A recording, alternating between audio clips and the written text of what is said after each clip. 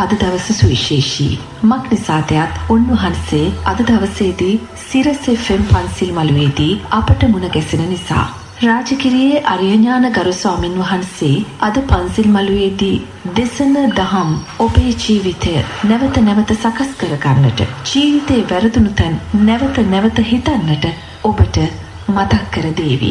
අවසරයි ගෞරවනීය ස්වාමින් වහන්ස මම මුලින්ම ඔබ වහන්සේගෙන් විමසන්නට කැමතියි. නිරෝගී මනසක්, නිරෝගී කයක් පුද්ගලයෙකුට උරුම වෙන්නේ කුමන හේතු නිසාද? කයේ ක්‍රියාකාරීත්වය කියලා කියන්නේ සිත කියන කාරණය. තේරුණාද? කය ක්‍රියාත්මක භාවයට පත් වෙන සිත තුලින්. මේ ලෝකේ ක්‍රියාත්මක භාවය කියලා කියන්නේ මොකක්ද? මිනිස්යාගේ සිතේ තියෙන ක්‍රියාත්මක භාවය.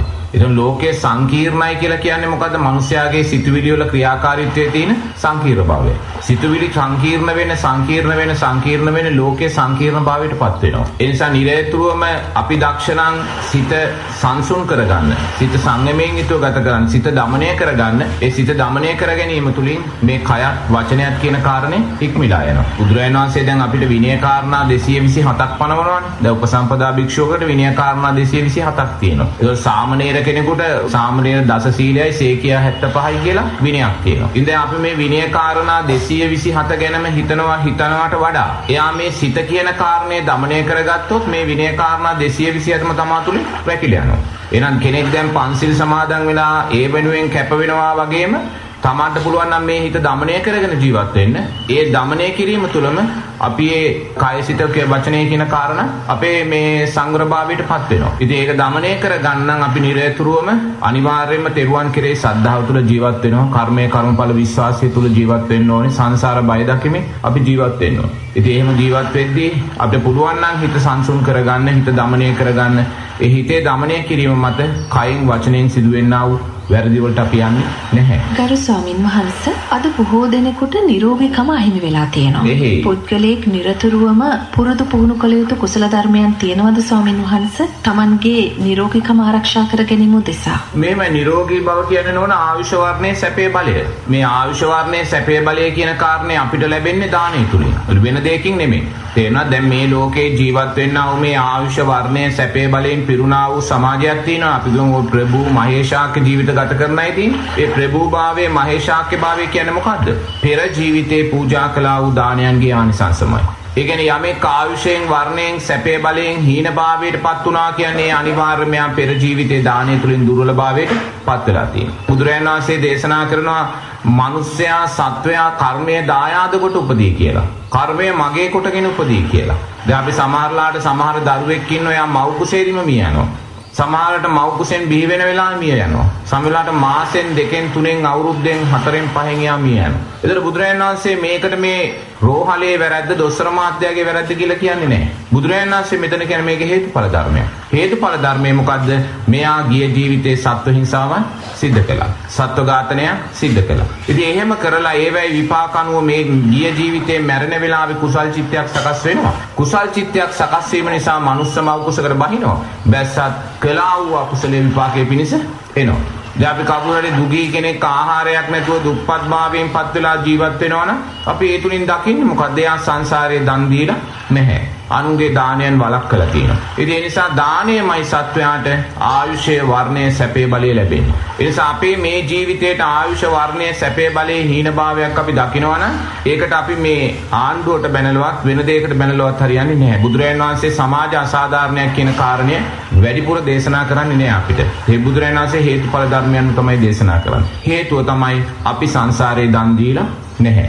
ඒ නිසා අපිට සුඛෝපභෝගී භාවය එහෙම නැත්නම් මහේශාක්‍ය භාවයන් අවශ්‍ය නම් අපි වැඩි වැඩි කර්මය කර්මඵල විශ්වාසයෙන් දන් දෙන්න ඕනේ. ඒ දන් දීලත් වැඩක් නැහැ. දන් දෙන්න ඕනේ සීලය ආරක්ෂා කරගෙන. ඉතින් මේ ලෝකේ යම් දිව්‍ය තලයක යම් දෙවි කෙනෙක් ශාස්ත්‍රීය භාවයෙන් ජීවත් වෙනවා නම් මේ මනුස්ස ලෝකේ යම් මිනිසෙක් ශාස්ත්‍රීය භාවයෙන් ජීවත් වෙනවා නම් ඒ ශාස්ත්‍රීය භාවයට එකම හේතුව ඒ අය පෙර ජීවිතේ පූජා කළා වූ දානය. ඒ දිව්‍යාත්මේ මනුස්සාත්මේ ලැබුණේ සීලය තුලින්. නමුත් අර ශාස්ත්‍රීය භාවය ඒගොල්ලන්ට ලැබුණේ දානය නිසාමයි. ඒ නිසා දන් දෙන කෙනා සංසාරේ කොතන උප්පත්තියක් ලැබුවා එයාට ආයුෂ වර්ණයේ සැපේ බලය ලැබෙනවා. දැන් බුදුරජාණන් වහන්සේ කියන ওই ත්‍රිසන් ලෝකේ ජීවත් වෙන අලියා, සිංහයා, කොටියා වගේ ඉන්නේ. ඒගොල්ලෝ තමයි කැලේ ඉන්න රජුරෝ. ඒගොල්ලන්ට කවුරුත් බයයි. එතකොට ඒ කැලේ රජ්ජුරුව හැටියට ඒගොල්ලෝ ඒ ජීවිත ලබන්නේ ඇයි? පෙර ජීවිතේ දානේ ආනිසංසමයි. නමුත් දන් දුන්නා ඒගොල්ලෝ සිල් රැක්කේ නැහැ.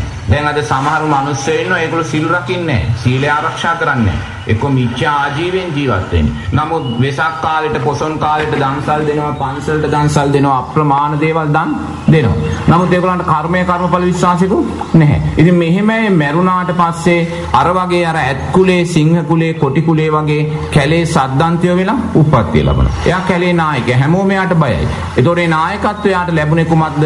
මොකක්ද ඒ නායකත්වය කියන්නේ? ආයුෂ, වර්ණය, සැපය, බලය. එතකොට මේ ආයුෂ වර්ණය, සැපය, බලය ලැබුණේ කුමක් නිසාද ගිය ජීවිතේ දන් දුන්නා. නමුත් සිල් ආරක්ෂා කළෙත් නැහැ. කර්මයේ කර්මඵල විශ්වාසයක් තිබ්බේ නැහැ. නමුත් දානේ ආනිසංස හැටියට එයා කැලේ රජුරු වෙලා උප්පත්තිය ලැබුණා. ගරු ස්වාමින් වහන්ස ලෝකයේ පුරා අතිශය සුඛෝපභෝගී ජීවිත ගත කරන මිනිස්සු ඉන්නවා. ඒ අය විවිධ ආගම්වලට විවිධ ජාතීන් වලට අයත් අය. නමුත් මේ හැම කෙනාම බුදුරජාණන් වහන්සේගේ දර්ශනය පිළිගත් අය නොවේ. මේ අයගේ භව ගමන කොහොමද ස්වාමින් වහන්ස අප පැහැදිලි කරගන්නේ? ඒ කියන්නේ අනිවාර්යයෙන්ම අපිට මේ ආයුෂ වර්ණයේ සැපේ බලය කතා කරනදී මේ වර්ණය කියන කාරණය, ලස්සන කියන කාරණය අනිවාර්යයෙන්ම ලැබෙන්නේ ගිය ජීවිතේ නෝනා අපි අප්‍රමාණ කළා වූ පින්කම් නිසාමයි.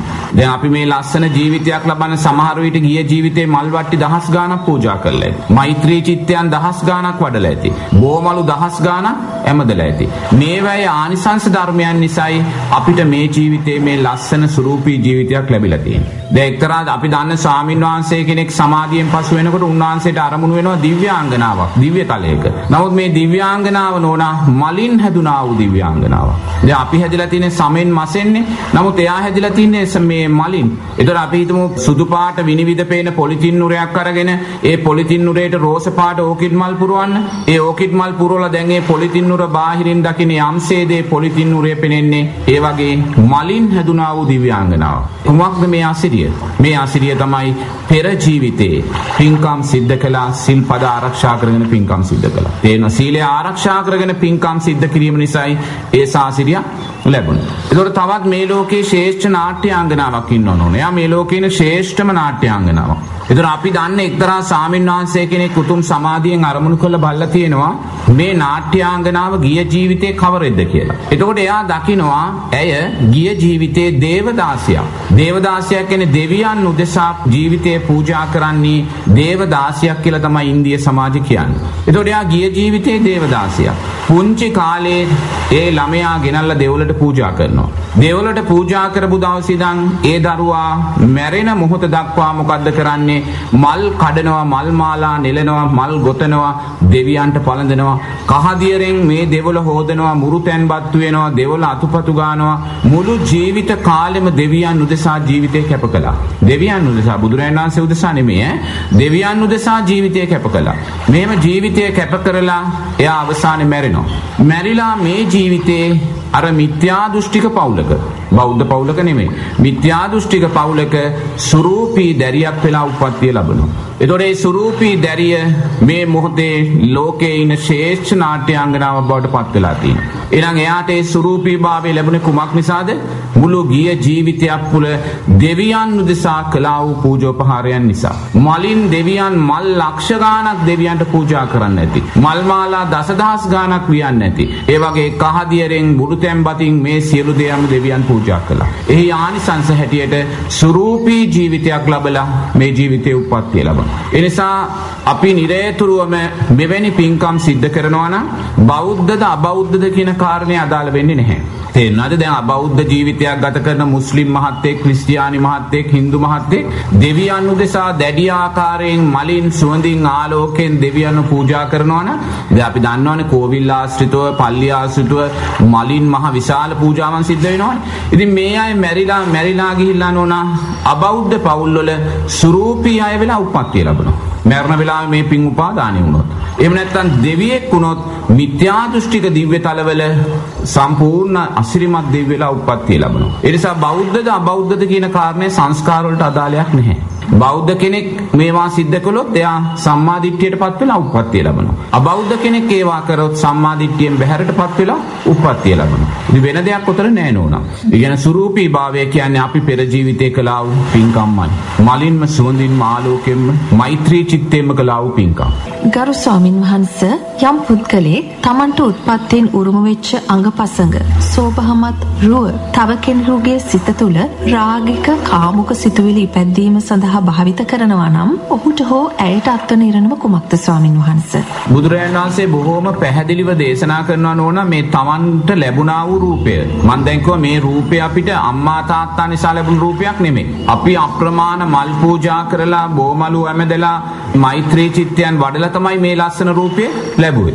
ඒ නිසා මේ ලැබුවා වූ ලස්සන රූපය බුදුරජාණන් වහන්සේ කියනවා නිරයගාමී බවට පත් කරගන්න එපා කියලා. යමෙක් Tamanට ලැබුණා වූ රූපය ඇඳුමෙන් පැළඳුනෙන් හෝ ලෝකයාට යම් නිරාවරණය කිරීමක් කරනවා නම් ඕන එය අපායගාමී අකුසලයක් කියලා බුදුරජාණන් වහන්සේ දේශනා කරනවා. ඒක බුදුරජාණන් වහන්සේ පැහැදිලිව කියනවා. අපායගාමී අකුසලයක්. ගරු ස්වාමින් වහන්ස නාට්‍යංගනාවන් රංගන ශිල්පිනියන් සම්බන්ධව කතා කරද්දී මේ தත්ත්වය කොහොමද ස්වාමීන් වහන්සේ පැහැදිලි කරගන්න පුළුවන්? ඒක නෝන බරපතල තැනක් ඒක. ඒක අපිට සමාජේ කියන්නත් බෑ සමහර විට කෙනෙක් ගැටෙන්න පුළුවන්. නමුත් කවුරු ගැටුණත් ධර්මය අපි ලෝකෙට කියන්න ඕනේ. බුදුරජාණන් වහන්සේ දේශනා කරපු ධර්මය අපි ලෝකෙට කියන්න ඕනේ. මොකද බුදුරජාණන් වහන්සේ නටගාමිනී කියන රංගන ශිල්පියෙක් බුදුරජාණන් වහන්සේ ළඟට එනවා. එයා තමයි එදා දඹදිවේ හිටපු ලස්සනම රංගන ශිල්පියා. මේ රංගන ශිල්පියා බුදුරජාණන් වහන්සේ ළඟට ඇවිල්ලා කියනවා භාග්‍යවතුන් වහන්සේ අපේ ගුරුවරු අපිට කියලා තියෙන්නේ මේ රූපය උපයෝගී කරගෙන අනුන්ව සතුටු කරන අය, අනුන්ව විනෝද කරන අය.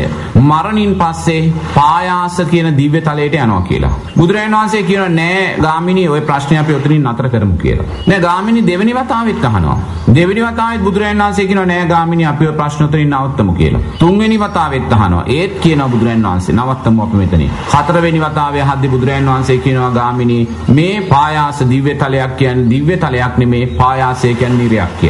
එතකොට පායාසය කියන නිරය කියන්නේ කවුරු යන තැනක්ද මේ රූපය උපයෝගී කරගෙන ලෝකයා තුල කාමස්වන්දයන් සකස් කරනවා නම් ලෝකයා තුල විනෝදය හාස්‍ය සකස් කරනවා නම් ඒ අය මරණින් පස්සේ පායාස කියන නිරයට යනවා කියලා බුදුරජාණන් වහන්සේ දේශනා කරනවා මම නෙමෙයි කියන්නේ. එහෙනම් බුදුරජාණන් වහන්සේ දේශනා කරන්නා වූ ධර්මය අපි දේශනා කළ යුතුයි. මොකද මේක සමාජයට මේ මොහොතේ කරන්නා වූ බුදුරජාණන් වහන්සේ බලවත් අනතුරු හැඟවීමක්. තේරෙනවද? ඒ ගාම බුදුරජාණන් වහන්සේ දේශනා කරනවා තමා පෙර පින නිසා ලැබුවා වූ මේ සුරූපී ජීවිතය ඇඳුමෙන් පැළඳුමෙන් හෝ අපි ලෝකයට නිරාවරණය කරනවා නම් එය අපායගාමී අකුසලයක් කියලා නෝන. ඒතර අපි දන්නා වූ එක්තරා සාමින් වහන්සේ නමක් උතුම් සමාධියෙන් අරමුණු කරලා බල්ලා කියනවා මේ පායාස නිරය කියන්නේ කොයි වගේ තැනක්ද කියලා. ඒ වෙලාවේ ස්වාමින් වහන්සේ දකින්නවලු සමාධියෙන් මේ පායාස නිරේ ඉන්නේ නිරිසතුන් ඇටසැකිල්ලක් හැටියටයි උප්පත්තිය ලැබලා තියෙන්නේ. එයාට මස් මුහුණක් තියෙනවා. නමුත් ඇටසැකිල්ලක් හැටියට. මස එයාට ලැබිලා නැහැ.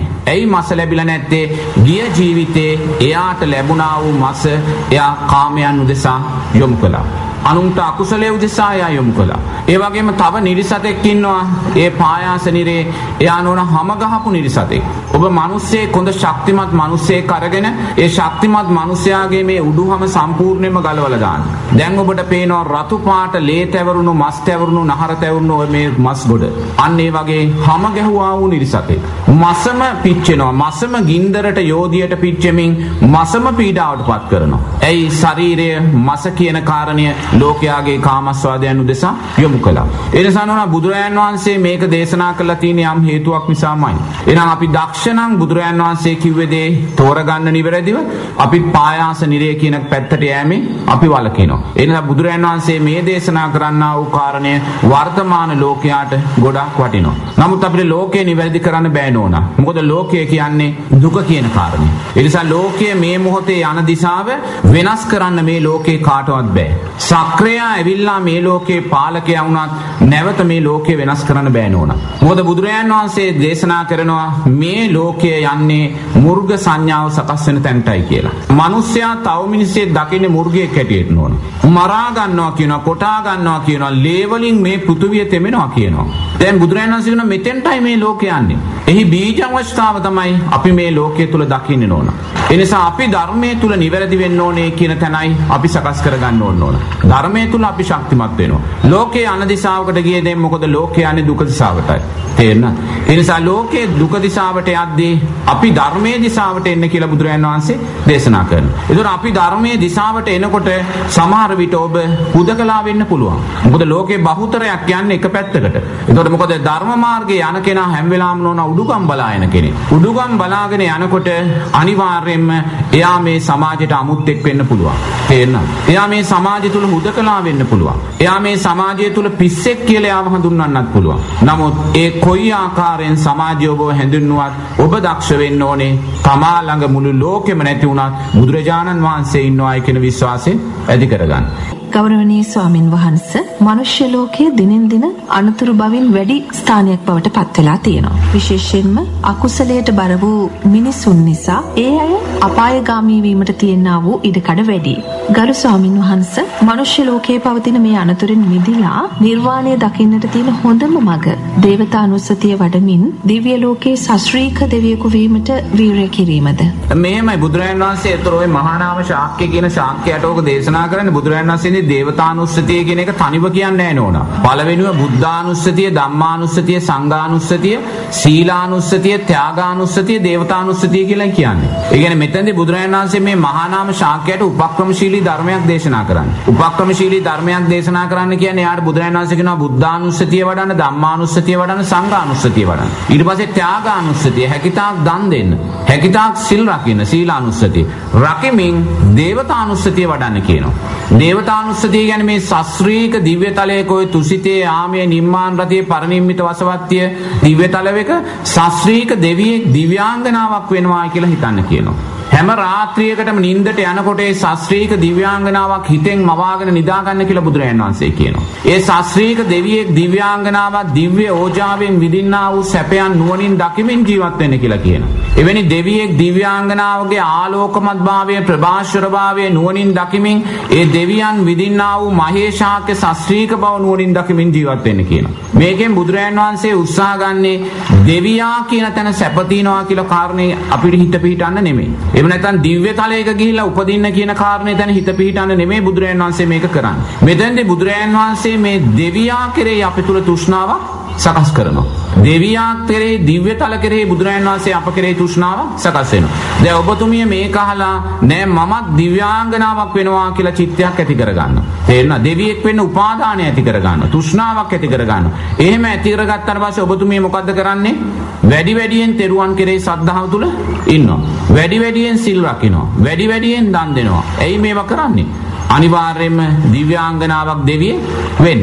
ඒතර එතන තමයි උපාදානයේ බුදුරජාණන් වහන්සේ තියන්නේ. එතන උපාදානය තියලා බුදුරජාණන් වහන්සේ මොකද්ද කරන්නේ? මේ කාරණා තුන වැඩි වැඩියෙන් වඩවනවා. මේ කාරණා තුන වැඩි වැඩියෙන් වඩන්න වඩන්න ඔබ ඉබේම සෝවාන් ඵලයේ කියන තැනට පත් වෙනවා. ඒ අවසානයේ මොකද්ද? දෙවියාව ඉලක්ක කරලා අපි සෝවාන් මාර්ගයේ තමයි බුදුරජාණන් වහන්සේ අපි තුලින් වැඩෙන්නේ. ඒ නිසා දේවනානුස්සතිය වඩනවා කියන්නේ ශාස්ත්‍රීක දෙවියෙක් දිව්‍යාංගනාවක් වෙනවායි කියන සැන හිත පිහිටන්න. එතන හිත පිහිටලා විතරක් වැඩක් නැහැ. එතන හිත පිහිටලා එතන සපුරා ගන්න නම් මෙතනින් තෙරුවන් කෙරේ වූ ශ්‍රද්ධාවත්, සීලානුස්සතියත්, ත්‍යාගානුස්සතියත් දක්ෂාකාරයෙන් වඩන්න ඕන. ඉතින් අපි දක්ෂ නම් මේ කාරණා තුන වඩමින් කල්යාණ මිත්‍රාශ්‍රය ලැබමින් සද්ධර්ම ශ්‍රවණය කරමින් නුවණින් මෙනෙහි කරමින් ඉස්සරහට යන්න එයා කවදා හරි තමන් උපාදානය කරගත්තා වූ දේවතානුස්සතියත් අනිත්‍යයි කියලා දකිනවා. දැකලා එයා සෝවාන් ඵලයට මාර්ගඵලලාභී දෙවියෙක් දිව්‍යාංගනාවක් කියන තැනට එනවා. ඒතර ස්වාමින් වහන්සේ ශාස්ත්‍රීක දිව්‍ය තලවල ඉන්නා වූ දෙවියන් හා මිනිසුන් අතර තිබෙන සම්බන්ධතාවය කොයි ආකාරයෙන්ද ස්වාමින් වහන්සේ?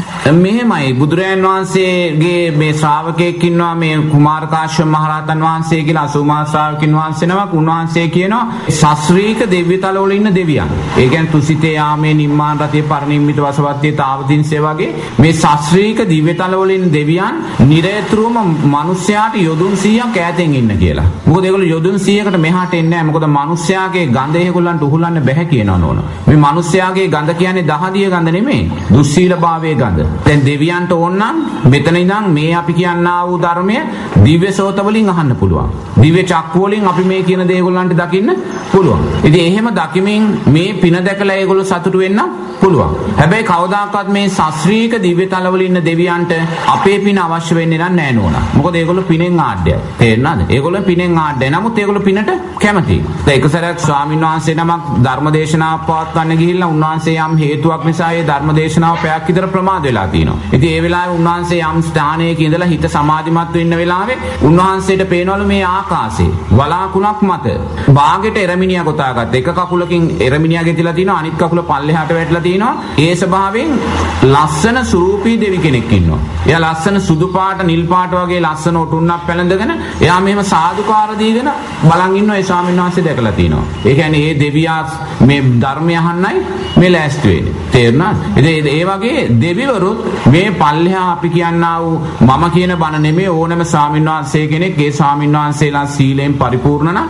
ඒ කියන්නා වූ බුදුබණ අවංකව දේශනා කරනවා නම් ඒ ඕනෑම ස්වාමීන් වහන්සේ කෙනෙක්ගේ සද්ධර්මය දෙවියන් ශ්‍රවණය කරනවා. නමුත් ඉතින් ශාස්ත්‍රීය දිව්‍යතලවල දෙවිවරු නම් මිනිස්සුත් එක්ක ඉස්සර ඇසුරට එන්නේ නැහැ. මොකද ඒගොල්ලෝ කාමයන් තුල මහා සැපයන් තුල ජීවත් වෙන්නේ. සැපයන් තුලට මේගොල්ලෝ ගොනු වෙලා ඉන්නවා මිස මනුස්ස ලෝකයේ ආශ්‍රිත කටුවලට ශාස්ත්‍රීය දිව්‍යතලවල දෙවියෝ එන්නේ නැහැ. නමුත් මනුස්ස ලෝකයේ ආශ්‍රිත දෙවියන ජීවත් වෙන දෙවිවරු ඉන්නවා. ඔය අපි කියන කතරගම දෙවියෝ, මහසෙන් දෙවියෝ, සමන් දෙවියෝ ඔය වගේ දෙවිවරු ඉන්නේ. ඒගොල්ලෝ මනුස්ස ලෝකයේ ආශ්‍රිතව මේ මනුස්ස ලෝකේ උපාදානය කරගෙන මනුස්ස ජීවිත ගත කරලා දේවත්වයට පත් වෙච්ච අය.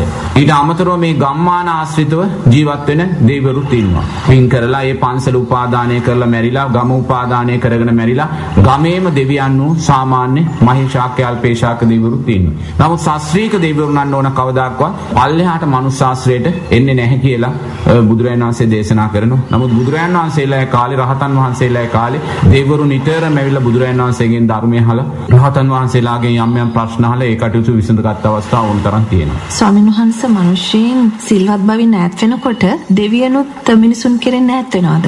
නෑ නෑ එහෙම දෙයක් නෑ බුදුරජාණන් වහන්සේ කියනවා නෝන මිනිස්සයා දුස්සීල වෙන්න දුස්සීල වෙන දෙවියන් දුස්සීල වෙනවා කියලා. දෙවියන් දුස්සීල වෙලා දෙවියන් වැරදි වැඩ කරන අයට උපකාර කරනවා කියනවා. මොකද ඒගොල්ලෝ තුලත් කාමයන් සකස් වෙනවා. කාමරාග පටිකයන් තුල දෙවියෝ ඉන්නේ. තේරෙන මාර්ගඵලලාභී දෙවිවරු තමයි මේ තත්ත්වෙට වැටෙන්නේ නැත්තේ.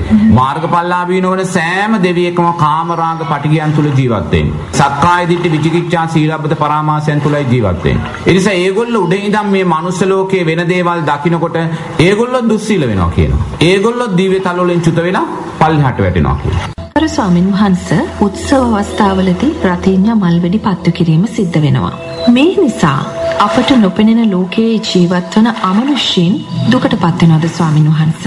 ඉතින් ඒක මිනිස්යන්ගේ සතුට. ඒ එක එක බලාපොරොත්තු සතුට එක එක්කෙනා එක එක ආකාරයෙන් ඒ සතුට ප්‍රකාශයට පත් කරනවා. එතකොට අපිට ඒකට කාටවත් දොස් කියන්න නම් බෑ. මම කාටවත් ඒක වැරදි කියලා කියන්නෙත් නෑ, එපා කියලා කියන්නෙත් නැහැ. මොකද මේවා අපිට නිවැරදි කරන්න කවදාකවත් බෑ නෝන. මං කිව්වා ලෝකේ යන්නේ දුක දෙසටයි, ලෝකේ යන්නේ අකුසලයේ දෙසටයි, යෝකේ ලෝකේ යන්නේ අර පරමාවශ අවුරුදු 10යි කියන මුර්ග සංඥාව තැනටයි. එහෙනම් ලෝකේ අනගමන අපිට වෙනස් කරන්න බැහැ. නමුත් ලෝකයේ අනගමන වෙනස් කරන්න බැරි වුණත් ලෝකයේ තුල වෙන්නා වූ දේ ගැන බුදුරජාන් වහන්සේ අපිට ධර්මයේ තුලින් පැහැදිලි කරලා දීලා තියෙනවා. ඒ නිසා නෝන අපි අම්හේකින් දෙසැම්බර් 31 වගේ රාත්‍රියකට මුළු රටම හෙල්ලෙන ආකාරයෙන් රචින්නාපත්තු කිරීම නිසා එක පැත්තකින් තිරිසන් ලෝකයේ ඉන්න සත්තු අප්‍රමාණ දුකට පීඩාවට පත් වෙනවා. සේන බල්ලෙක් පූසෙක් හරකෙක් ගත්තත් මහා පාරවල් වල දුවමින් තැන් තැන් වල හැංගෙමින් ඒ පැය පුරාවට පුදුමාකාර ද්වේෂයක් බයක් ඒ සත්තුන් තුල සකස් වෙනවා. ඒතර ගහකොළ වල ඉන්න සිව්පාවුන් එතනින් ගියාම කුරුල්ල බලන්න බිත්තර දාලා ඉන්න කුරුල්ල පැටව දාලා ඉන්න කුරුල්ල අප්‍රමාණ පීඩාවට ඒ බිත්තර විනාශ වෙලා ඒ සත්තු රෑ බයට ඉගිල්ලිලා වෙන සත්තුන්ගේ ගොදුරු බවට පත් වෙලා එතනින් විනාශ භාවයට පත් වෙනවා. ඒ වගේ මේ මනුස්ස ලෝකයේ ආශ්‍රිතව නොවන අප්‍රමාණ ප්‍රේතයෝ ජීවත් වෙනවා. සමහරට මිනිස්සුયો 10 දෙනෙක් ඉන්න තැන ප්‍රේතයෝ 100ක් ඉන්න පුළුවන්. ඒ තරම් ප්‍රේත ජනගහනය ලෝකේ වැඩි නෝන. ඉතින් එවැනි ප්‍රේතයින් මේ පුපුරන පිපිරිල්ල හමුවේ විනාශයට පත් වෙන්න පුළුවන්. තේරෙනවද? ඒගොල්ලන්ට තෝලාරික කයක් තියෙනවා. ඒගොල්ලොත් මේ රචින්නා හඬ නිසා රචින්නාවල පිපුරුමට බයෙන් ඒගොල්ලොත් විනාශයටපත් වෙන්න පුළුවන්. එතන ගියා මේ මනුස්ස ලෝකයේ ආශ්‍රිතව රුක් දෙවිවරු, බුම්මාට දෙවිවරු වගේ මෙවැනි දෙවිවරු අප්‍රමාණව ජීවත් වෙනවා. ඒතකොට මේ දෙවිවරුත් විනාශයට ලක් වෙන්න පුළුවන්. විනාශ නොවුනත් මේගොල්ලෝ තුල ද්වේෂසිත ඇති වෙන්න පුළුවන්. තේරෙනවද? ඒතකොට බලන්න කිරි දරුවෙක් ගන්න ගෙදරක ඉන්න අවුරුද්දක් දෙකක් මාස 6ක් වයසක කිරි දරුවා මේ කිරි දරුවා වුණත් එදා රෑ 10 ඉඳන් පහවදා උදේ 1 වෙනකන් අඬමින් කෑ ගහමින් බෙරිහන් දෙමින් තමයි ඉන්නේ. තේරෙනවද? මොකද ඒ ළමයා බිය නිසාම කෑ ගහනවා මේ සද්දෙට. තේරෙනවද? ඒ වගේම රචින් එකක් පත්තු කරන කෙනා බලන්න. එයා රචින් එකක් පත්තු කරලා එයා එතන ඉන්නවද? එයාත් පැනලා දුවනවා. ඒ කියන්නේ එයාත් මරබයේ තමයි රචින් එක පත්තු කරලා පැනලා දුවන්නේ. ඒ කියන්නේ එයාත් බියටපත් වෙලා එදා රෑ ඉන්නේ. එතකොට මෙහෙම බැලුවාම මේ 31 වෙනිදා රාත්‍රිය කියන්නේ මුළු ලෝකයාම බියට පත් කරන්නා වූ රාත්‍රියක්. තේරෙනවද? අසහනයට වේදනාවට පත් කරන්නා වූ මරණීය බයට පත් කරන්නා වූ රාත්‍රියක්. ඒ වගේම අප්‍රමාණ සත්වයින් මැරෙන රාත්‍රියක්. එදා පත් වෙන රචින්න ගොන්නට කූඹි කඩි වගේ මේ පොළොව ආශ්‍රිත ජීවත් වෙන කුමි සතුන් කී ලක්ෂයක් මැරෙන්නේ නැද්ද කියලා හිතන්නකෝ. ඒ නිසා 31 රාත්‍රිය ඉවර වෙලා පළවෙනිද රාත්‍රිය ලබන්නේ නෝනා අප්‍රමාණ අකුසල් කන්දරාවක් මිනිසයා සිද්ධ කරගෙන. එක පැත්තකින් තිරිසන් සත්තු බියට පත් වෙනවා එක පැත්තකින් ළමා ලපටි බියට පත් වෙනවා එක පැත්තකින් මේ කුමී සතුන් බියට පත් වෙනවා එක පැත්තකින් പ്രേත කොටස් දිව්‍ය කොටස් බියට පත් වෙනවා විනාශ භාවයට පත් වෙනවා. ඉතින් මේ සියලු අඳෝනාවන් මේ සියලු බිය මුසු කරගෙනයි අපි පළවෙනිද උදෑසන ලබන්නේ. ඒ නිසායි මේ මම කියන්නේ 31 වෙනිදා රාත්‍රිය මේ වගේ මේ කටුක බය උපදවන රාත්‍රියක් ලෝකයා තුල. ඒ නිසා අපි පටන් ගන්න අවුරුද්ද මුල් අවුරුද්දේ පළවෙනි දවසේ මේසා මිනිස්සයා බියට පත් කරගෙන නම් සකස් කරන්නේ නෝනා ඒ ලබන්නා වූ අවුරුද්ද කවදාකවත් අපිට යහපත් අවුරුද්දක් වෙන්නේ. මොකද ලබන්නා වූ සෑම අවුරුද්දක්ම හැම අවුරුද්දකට වඩා අයහපත් අවුරුද්දක් හැටියට අපි දැන් ලෝකේ දකින්නේ. විනාශයන් වැඩි, අනතුරු වැඩි, ගොඩාක් තියෙන අපරාධයන් වැඩි. ලබන ලබන අවුරුද්ද පෙර අවුරුද්දට වඩා දුර්වල අවුරුද්දක් බවටයි පත් වෙන්නේ.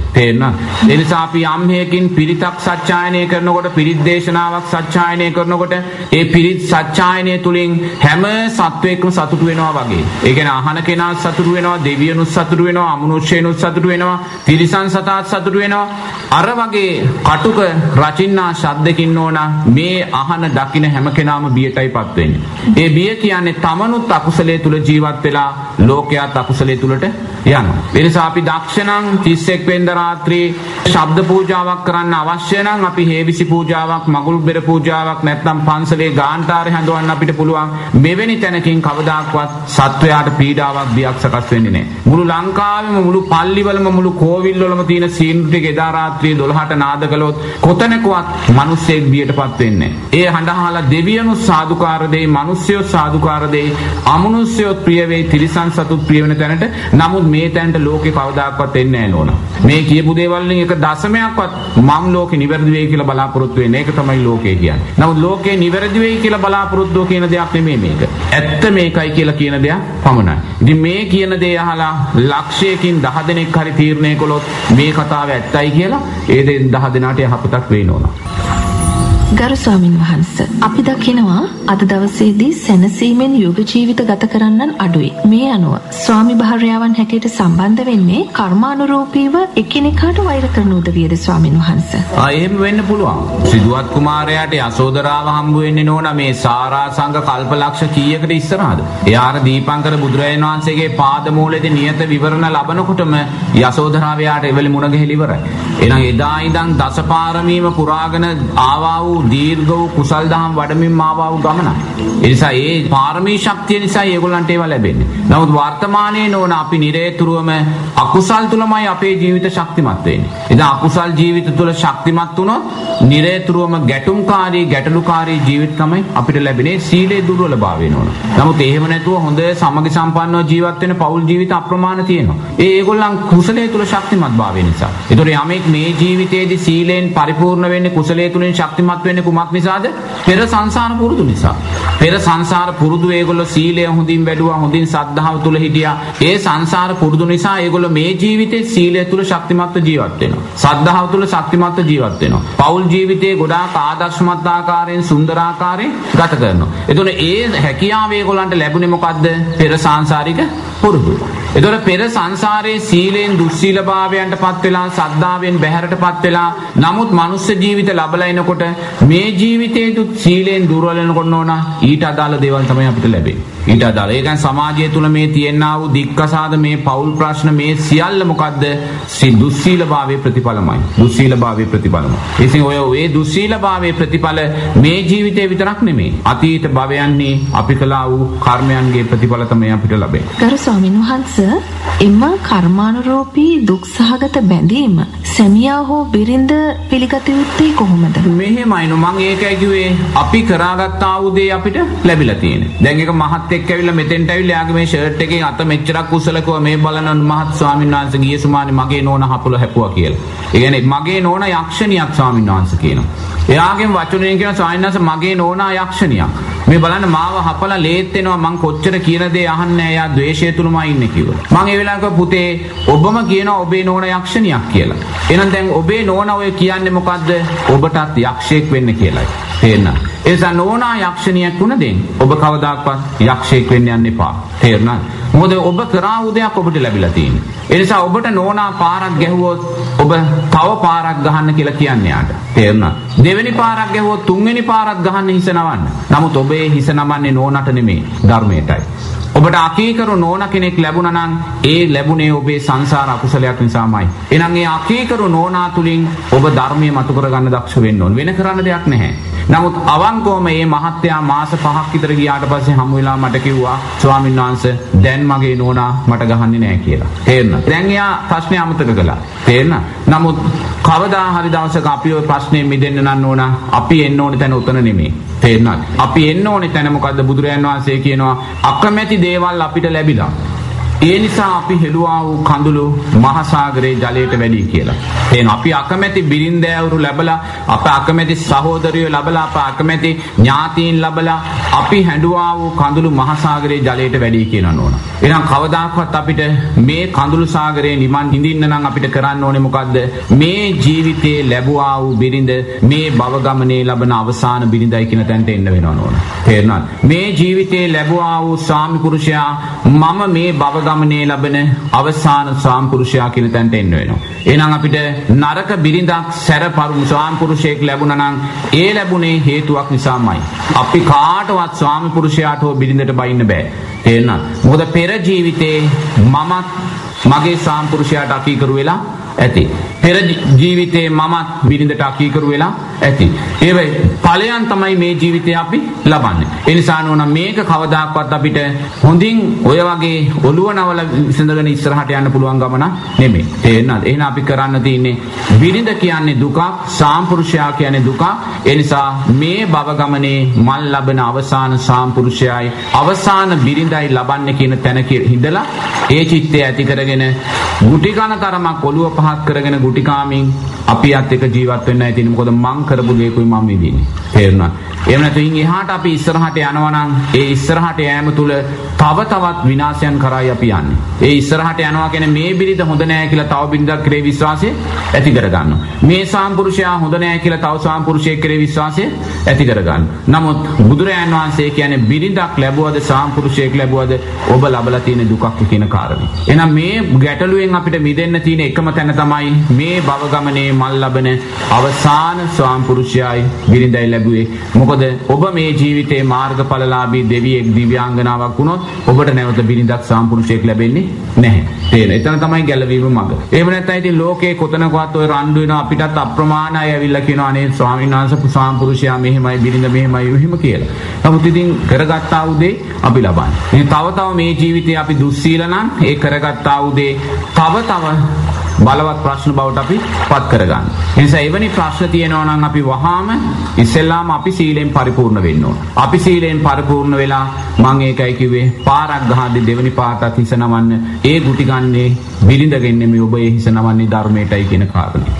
වෙන ඉතින් කරන්න දෙයක් නැහැ. ගරු ස්වාමින් වහන්ස ගිහියෙකු රැකිය යුත්තේ ආජීවාෂ්ටමක ශීලයද පංචශීලයේද නෑ ගිහි පින් ඇතුළත නෝනා ආජීවාෂ්ටමක ශීලය පංචශීලයට වඩා ශ්‍රේෂ්ඨයි. නමුත් සාමාන්‍ය ගිහි කෙනෙකුට පංචශීලය තමයි අපි අනුදානන්නේ. මොකද ආජීව අට්ටමක සීලයට ගියොත් එතන මේ මිච්ඡා ආජීවය කියන සිල්පදයක් තියෙනවා. ඒතකොට පිසුනා වාචා, පරුසා වාචා, සම්පප්පලාපා කියන සිල්පද තියෙනවා. දැන් සමහරු දාන දෙන්න ඔය ආරණ්‍ය වලට එනවා. ඒ ඇවිල්ලා වාහනයක බස් එකක තමයි ඒගොල්ලෝ එන්නේ. ඉතින් ආපුවාම අපි ඒගොල්ලන්ට ආජීව අට්ටමක සීලය සමාදන් කරනවා. නමුත් සමාදන් කරලා ඒගොල්ලෝ යන ගමන්ම වාහනේ සින්දු කියාගෙන බෙර ගහගෙන ඕවා කරගෙන තමයි යන්නේ. එතකොට මාර සීලය දුර්වල වෙනවා. තේරුණාද? එතකොට අපි කියමු යම් කෙනෙක් ඉන්නවා. කඩේ හන්දියේ ග්‍රොසරියක් කරන මහත්තයෙක් ඉන්නවා. එයා ග්‍රොසරිය අයිස් පෙට්ටියේ කුකුල් මස් විකුණනවා. එහෙනම් කඩේ හන්දියේ හෝටලයක් කරන මහත්තයෙක් ඉන්නවා. ඒ හෝටලේ මහත්තයා කොත්තු රොටියක් එහෙම නැත්නම් මාළු පිරිසියක් මාළු බත් එකක් විකුණනවා. ඒ මොහොතේම නෝනා ඒගොල්ලෝ ආජීවයට අහු වෙනවා. තේරෙන මොකද ඒගොල්ලෝ මස් මාංශ වෙළඳාම් කරනවා. එහෙමනම් එතනදී අපිට ගැළපෙන සීලය තමයි පංචශීලය. තේරෙනවද? ඒතකොට අපි කිව්වොත් එහෙම නෑ පංචශීලය නෙමෙයි හැමෝම ආජීව අට්ටමක සීලය රකින්න කියලා. එහෙනම් මේ රටේ ඉන්න කිසිම ගොසරියක් කිසිම හෝටලයක් කරන කෙනෙකුට ආජීව අට්ටමක සීලය රකින්න බෑ. තේරෙනවද? එහෙනම් අපි මේගොල්ලන්ව ධර්මයෙන් ඈත් කරන්න බෑ. ධර්මයෙන් අයින් කරන්න බෑ. ඒගොල්ලොත් මේ ශාසනයෙම කොටසක්. ඒකයි බුදුරජාණන් වහන්සේ කියන්නේ නිත්‍ය සීලය පංචශීලය බවට රකින්න. තේරෙනවද? පංචශීල් සමාදන් වුණාට පස්සේ ඔබ හෝටලේ මාළු කෑල්ලක් වික්කාය කියලා ඔබට සිල්පදයක් බින්දෙන්නේ නැහැ. තේරුණාද? ඉතින් Taman සීලය තුල ශක්තිමත් වෙලා ඉස්සරහට යද්දී සද්ධාවෙන් පරිපූර්ණ වෙද්දී මාර්ගයේ ශක්තිමත් වෙද්දී එයා මිත්‍යා ජීවෙන් වෙනස් වෙයි. එහෙම නැතුව සාමාන්‍ය ගිහි කෙනෙකුගේ නිත්‍ය වූ සීලය පංච සීලය කියලායි බුදුරජාණන් වහන්සේ දේශනා කරන්නේ. කර ස්වාමීන් වහන්ස සමාදන් වන එම ශීලයන් බිඳෙනකොට සිද්ධ වෙන අකුසල කර්මයන් කොයි ආකාරයෙන්ද ස්වාමීන් වහන්සේ පැහැදිලි කරගන්න පුළුවන්? මෙහෙමයි නෝනා අපි නිරතුරුවම හුඟක් අය සමාජයෙන් කියන ප්‍රශ්නයක් තමයි හාමුදුරනේ මම ව්‍යාපාරයක් කරනකොට රැකියාව කරනකොට මට බොරුවක් කියවෙනවා. නැත්තම් මම මගුල් ගෙදර ගියාම මත් වතුර ටිකක් පේනවා. ඒ නිසා ස්වාමීන් වහන්සේ මේ සිල්පදේ නැත්තම් දෙක නිසා අපි නිරතුරුවම ගැටෙන සිතෙන් ජීවත් වෙන්නේ. ඒ නිසා කොයිම වෙලාවකත් නෝනා බිඳෙන සිල්පදේ ගැන හිතලා ගැටෙන්න යන්න එපා. මොකද තමන් බිදෙන සිල්පදේ ගැන හිතලා ගැටෙන මොහොතක තමන් මිය පරලව ගියොත් ඔබ වැටෙන්නේ සතර අපායට. ඒක මහා අපරාධයක් නෝන. තේරෙනවද? රකින්න සිල්පද හතරක් තියෙනවනේ. හැම වෙලාවම රකින්න සිල්පද හතර ගැන සතුටු වෙමින් ජීවත් වෙන්න. තේරෙනවද? රකින්න සිල්පද ගැන හතර සතුටු වෙමින් ජීවත් වෙද්දී ඒ සතුට විසින්ම බිදෙන සිල්පදේ නිවැරදි කරගන්න අපිට පුළුවන්කම ලැබෙනවා. කොයිම වෙලාවකවත් සිල්පදයක් බිදුනා කියලා බිදුන සිල්පදේ ගැන ගැටෙන්න හිතන්න යන්න එපා. ඒක නිවැරදි කරන්න උත්සාහ ගන්න. නමුත් රකින සිල්පද හතර ගැන හිතලා සතුටු වෙන්න. රකින සිල්පද ගැන හතර හිතලා සතුටු නොවුනොත් නෝනා අනිවාර්යයෙන්ම ඒ සිල්පද බිඳෙන සිල්පදේ ගැන ගැටුනොත් අපි අනිවාර්යයෙන්ම සතර පාටයි යන්නේ. නමුත් හරි අපරාධයක් රකින සිල්පද හතර. ඒ නිසා අපි උත්සාහ ගන්න ඕනේ බිඳෙන සිල්පදේ නිවැරදි කරගන්න. නමුත් බිඳෙන සිල්පදේ ගැන හිතන්න යන්න එපා. රකින සිල්පද ගැන හතර හිතලා සතුටු වෙන්න. ඒ සතුටම බිඳෙන සිල්පදේ නිවැරදි කරගන්න හේතු වේ. ඒ වගේම තමන්ගේ අතීතයේ වුණා වූ සිල්පද බිඳීමක් තියෙනවා නම් කොයිම වෙලාවකවත් ඒ සිල්පද බිඳීම නැවත නැවත සිහියට ගන්න යන්න එපා. ඒ සිල්පදය අතීත පංච උපාදානස්කන්ධයක් හැටියට දැකලා යටපත් කරලා දාන්න. ඒ අකුසලයේ විපාකයේ පිණිස ඒවි. නමුත් ඒක ප්‍රශ්නයක් නෑ. නමුත් අතීතයේ සිදු වුණා වූ සිල්පද බිඳීම් තියෙනවා නම් ඒක අතීත පංච උපාදානස්කන්ධයක් හැටියට යට කරලා දාන්න නැවත මතු කරලා ගන්න එපා. මේ මොහොතේ ඉඳන් ශක්තිමත්ව සීලය තුල ජීවත් වෙන්න. දැන් අඟුලිමාල මිනිස්සු 999ක් මරනවානේ. 999ක් මරලා අම්මව මරන්නේ කියලායි මේ යන්නේ ආනන්තරී පාප කර්ම කරන්නේ. නමුත් ඒසා මනුස්ස ඝාතන කරලත් ඒ සෑම ඝාතනයක්ම අකුසලයක්ම අතීත පංච උපාදානස්කන්ධයක් හැටියට යටපත් කරලා උතුම් රහත් භාවයට පත් වෙනවා. නමුත් අකුසලයේ විපාකයට ආවා. අකුසලයේ විපාකයට නෙමෙයි අපි බය වෙන්න ඕනේ. මේ ධර්මාබෝධය තුල ශක්තිමත් ඉස්සරහට යන්න. ඒ නිසා සිල්පදයක් බිදුනොත් කොයි වෙලාවකවත් බිදුන සිල්පදය ගැන ගැටෙන්න එපා. නිවැරදි කරගන්න උත්සාහ ගන්න. රකින්න සිල්පද ගැන හතර හිතලා සතුටු වෙන්න. ගරු ස්වාමින් වහන්සේ ගිහි ජීවිතයක් ගත කරන කෙනෙකුට සෝවාන් භාවයට පත්වීම අතිශය අසීරු කාරණයක්ද ස්වාමින් වහන්සේ? අනේ නෑ බුදුරජාණන් වහන්සේ මේ විචාකාව අනේ පිළිසිටුමා නකුල මාතා නකුල පියා ඔය වගේ දසදහස් ගණන් ලක්ෂ ගණන් උපාසක උපාසිකාවන් හිටියා. ඉතින් මේක අපහසුතාවයක් නෑ අපහසු වෙන්නේ අපි තුල විචිකිච්ඡාව තියෙන නිසා. මේක අපහසුයි කියන සැකේ නිසාම අපිට මේක අපහසුවක් බවට පත් වෙනවා. ඉතින් මේ අපහසුවක් නෑ කියන කාරණේ සකස් කරලා දෙන්නේ කවුද? සද්ධාව. අපිට හිතෙනවා නම් සෝවාන් ඵලයට පත්වීම අපහසුයි කියලා මොකද්ද ප්‍රශ්නේ තියෙන්නේ? සද්ධාවේ ප්‍රශ්නයක් නෝනා. සද්ධාවේ. එහෙනම් සද්ධාව ඇති කරගන්නේ කොහොමද?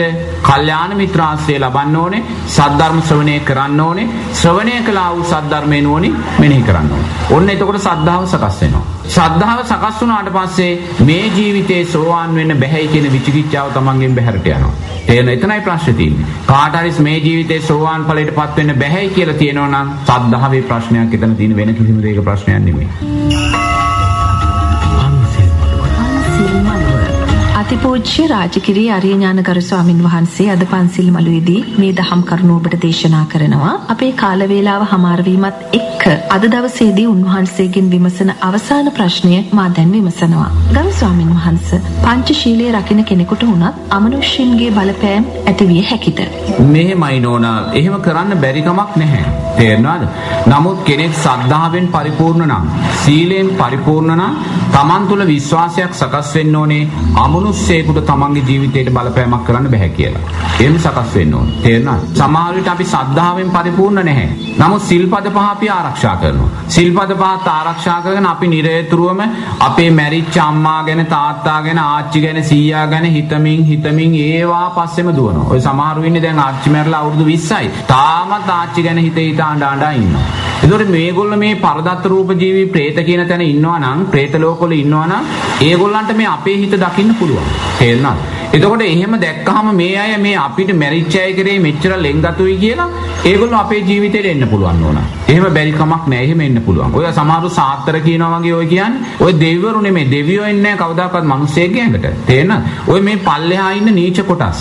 තේරෙනවද? මොකද ඒවා කෙරේ උපාදානය සකස් කරගෙන ඒගොල්ලොත් අප කැමති අපිට උදව් කරන්න අපිට කීයක් හරි හම්බ කරලා දෙන්න. ඒ වගේ ඒගොල්ලෝ මේ ශරීරයට වැහිලා එක එක දේවල් කරන්න පුළුවන්. ඒගොල්ලන්ගේ උපාදානය නිසා. එහෙම නැතුව සමහර වෙලාවට දැන් මුගලන් මහරහතන් වහන්සේගේ කුසටත් එක්තරා අවස්ථක මායя රින්ගනවා. තේරෙනවද? ඒ වගේ අමනුෂ්‍ය කොටස් ශරීරයට රිංගලා රෝගාබාධයන් නැති කරන්න පුළුවන්. අමනුෂ්‍ය කොටස් වගේම මේ ප්‍රේතය භූතය වගේම ප්‍රේත මේ තිරිසන් ලෝකෙකුත් තියෙනවා. මනුෂ්‍ය ලෝක ආශ්‍රිතව ප්‍රේත තිරිසන් ලෝකයක්. ප්‍රේත ආලි ප්‍රේත හරක් ප්‍රේත මේ භූත මුව භූත මේ කුකුල්ලු භූත මේ මේ මොනරු එතනින් ගියාම භූත මාළු භූත තලගොයි භූත මකුලුව භූත මදුරුව මේ වගේ මේ මේ මනුෂ්‍ය ලෝකයේ ආශ්‍රිතව භූත තිරිසන් ලෝකයක්. ඒ භූත තිරිසන් ලෝකයේ මේ භූත තලගොයි ඉන්නවා. තේරෙනවද? එතකොට මේ භූත තලගොයා ජීවත් වෙන්නේ කොහොමද? භූත මකුලුවන්න මරාගෙන කාලා. තේරෙනවද? එතකොට මේ භූත ලෝකයේ ඉන්නා වූ භූත මකුලුවන් වගේ සතෙකුට උනත් අපේ ජීවිතේ රින්ගන්න පුළුවන්. කොහොම වුණත් මෙවැනි දේවල් සිද්ධ වෙන්නේ අපි සද්ධාවෙන් සීලෙන් දුර්වලභාවයට පත් වෙලා නම්. අපි සද්ධාවෙන් සීලෙන් පරිපූර්ණ නම් මෙවැනි අමනුෂ්‍ය බලවේග අපේ ජීවිතයට එන්න බෑ. ඒ කියන්නේ කොතනකින්වත් ගැළවීමක් නැහැ. මොකද ලෝකේ ඒ තරම් සංකීර්ණ තැනක් නෝනා. පියවි ඇහැට අපිට පේන්නේ ලෝකෙන් පුංචිම තැනක් විතරයි. පුංචි දෙයක් විතරයි. මේ නොපෙනෙන සමාධිය ඇහැට තමයි මේ ලෝකයේ තියෙන යථා ස්වභාවය දකින්නේ. මේ යථා ස්වභාවයේදී මේ මනුස්ස ලෝකේ ජීවත් වෙන තිරිසන්ුන්ට වඩා භූත ලෝකයේ තිරිසන් සතුන් වැඩි. තේරෙනවද? ඒක ස්වාමීන් වහන්සේ කෙනෙක් සමාධියෙන් පසු වෙනකොට ඒක මුහුදාශ්‍රිතව තියෙන කුටියක උන්වහන්සේ දකින්න මේ සද්දන්ත යක්ෂයෙක්. ඒ අක්ෂයාව මේ මේ මිත්‍යා දෘෂ්ටිකයේ අක්ෂයෙක්. මිත්‍යා දෘෂ්ටි කියන්නේ මේ දල් එළියට පැනලා ඇස් රතු වෙලා එළියට පැනලා බඩ නෙරපු මිත්‍යා දෘෂ්ටිකයේ අක්ෂයෙක්. එතකොට මේ මිත්‍යා දෘෂ්ටිකයේ අක්ෂයා ඉන්න තැන එතන තියෙනවා මේ හරක් ඔලු හතක් නැත්නම් අටක්. ඒ හරක් දෙවලු අපේ හරක් වගේ විශාල ඔලු නෙමෙයි ඊට වඩා පොඩි. එතකොට එයා මුහුදායින ඉන්න නිසා එයා ළඟ තියෙනවා මේ මාළු ගොඩක්. තේරෙනවද? ඒක මාළුවෙක් නෝනා මීටර් කොහොමත් 30ක් විතර විශාලයි ඒක මාළුවෙක්. ඒ මාළුවා දෙකට කපලා තුනට නවලා තියෙන්නේ. ඒ වගේ මාළු දෙන්නෙක් විතර මෙහෙම නවලා එක ගොඩේ ගහලා තියෙනවා. තේරෙනවද? එතකොට මේ හරක් මේකේ ඔලු තින්නේ ඇයි? මෙයා මේ හරක් ටික කාලා. එතකොට මේ හරක් කියන්නේ නෝනා මේ මනුස්ස ලෝකේ ජීවත් වෙන හරක් නෙමෙයි. තේරෙනවද? මිනිස්සයා මනුස්ස ලෝකේ ජීවත් වෙන හරක් මරාගෙන කනවා වගේ ඒ අමනුස්ස යක්ෂ പ്രേත කොටස් යක්ෂ කොටස් අර භූත ලෝකේ ඉන්න සත්තු තමයි මරාගෙන කන්නේ. දැන් මුහුදේ මාළු ඉන්නවා වගේම භූත මාළුත් ඉන්නවා. මා විශාල මාළු ඉන්නවා. ඒගොල්ලෝ මැරිලා ගිහිල්ලා භූත ස්වභාවයේ මාළු වෙලා උප්පත්තිය ලබනවා. ඔය හරක් රැල් පිටිපස්සේ භූත හරක් අප්‍රමාණව ඉන්නවා. මොකද හරකෙක් මැරෙන වෙලාවේ යාට රැළ පිළිබඳවයි උපාදානය සකස් වෙන්නේ. නමුත් එයා හරකෙක් කුසේ ඉපදුනේ නැත්නම් ඒ රැළේම භූත සතෙක් කියලා ඉපදෙනවා. එතකොට මේ භූත සත්තු තමයි මේ යක්ෂයෝ අල්ලගෙන මරාගෙන කන්නේ. තේරෙනවද? ඉතින් ඒ වගේ සංකීර්ණ ලෝකයක් අපි ඉස්සරහා තියනවා නෝන. ඉතින් ඒ සංකීර්ණ ලෝකයේ ඉන්න මේ මකුලුවා වැනි සතෙකුටත් අපේ ජීවිතයට රිංගන්න පුළුවන්. රිංගලා අපේ කොතන හරි ලෙඩ කරන්න පුළුවන්. එහෙම නැහැ කියලා කියන්න බෑ. ඉතින් එහෙමනම් ඒවෙන් අපි ආරක්ෂා වෙන්න නම් අපිට මේ නොපෙනෙන ලෝකේ නැති කරන්න බෑ. භූත ලෝකේ එහෙම නැත්නම් ප්‍රේතයා යක්ෂයා කියන කෙනා නැති කරන්න බෑ. ඒවා ලෝකයේ ස්වභාවය. එහෙනම් අපි මේවාට ඔරොත්තු දෙන ජීවිතයක් අපි සකස් කරගන්න ඕනේ. මේවාට ඔරොත්තු දෙන ජීවිතය කියන්නේ මොකද්ද? තෙරුවන් කෙරෙහි සද්ධාවත් සීලේනුත් පරිපූර්ණ වෙච්ච ජීවිතය. උන්වහන්සේ බුදුදහම ඇසුරින් පසක් කරගන්නා වූ මේ ජීවිත සත්‍ය නැවත නැවතත් ඉස්මතු කරමින් අපට පැහැදිලි කරන්නේ ඔබටත් මටත් නොවරදින්නටමයි. අපායගාමී නොවී ජීවත් වන ආකාරය හඳුන්වා දෙන්නටයි. එහෙමනම් ඔබත් මේ කාල වේලාවෙන් උපරිම ප්‍රයෝජන ගත්තා නම් උන්වහන්සේ පැහැදිලි කර දුන් කරුණු නැවත නැවතත් හොඳින් සිතෙහි දරාගෙන ක්‍රියාවෙහි යොදවන්න. ධර්මයේහි හැසිරෙන්නා ධර්මයේ විසින්ම රකිනු ලබයි කියන කාරණය සිත්හි දරා ගන්න. ගරු ස්වාමීන් වහන්සේට සියලු දෙනාම එක්ව පින් අනුමෝදන් කරන්න. උන්වහන්සේට මේ සත්‍ය ධර්මයේ සොයා තවත් බොහෝ දුර යන්නට ශක්තිය ධෛර්යය ආශිර්වාදය ලැබෙන්නටය කියා අප ප්‍රාර්ථනා කරමු. ලබන ඉරිදාත් පන්සිල් මළුවේදී අපි මුණ ගැහෙමු. ඔබට තෙරුවන් සරණයි.